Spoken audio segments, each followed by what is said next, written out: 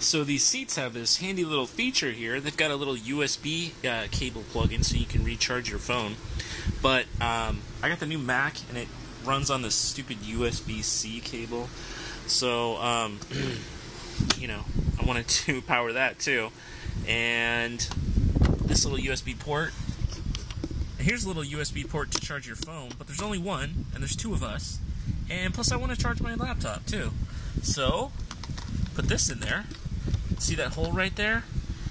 My little uh, Harbor Freight. I got this at Harbor Freight. Didn't really have it have a use for it at the time, or didn't really have a need for it at the time, but ended up picking it up and it came in handy this time around. So, just drilled a little hole in there and routed this uh, USB charger. This thing's kind of warm, and it will charge the new Mac.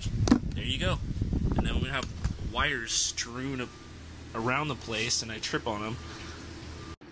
So as I was modifying the chair to include the USB-C adapter, I realized that the chair is really loose. Why is that?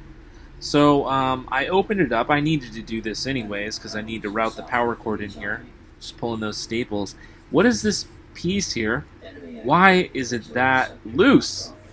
Man, the quality is lacking in this RV furniture. Look how loose this is. I think I need to reinforce it. Actually, it looks like I could just tighten it.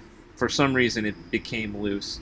Um, yeah, I'm just going to go ahead and tighten it and see if that fixes things. But the point here is the quality. The quality is lacking. Come on, Montana, get with it. All right, we have got the phone inside of the chair. Those are the cup holders right there.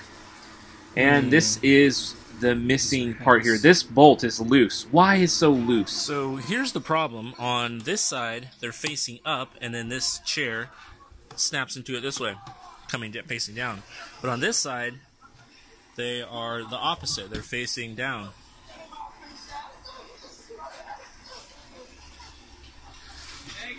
So on this side, they are facing down, and so when you lean on this side, uh, it doesn't, whatever.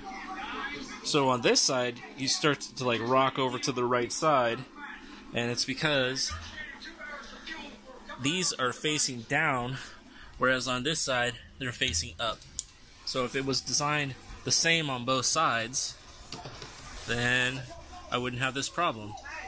I cracked the case, guys. Are you proud of me? I figured out what the problem was. I, it's going to take some modifications. It's also going to take some patience and willingness on my part, and uh, I just don't have that right now. I just wanted my USB-C adapter. Thanks for watching.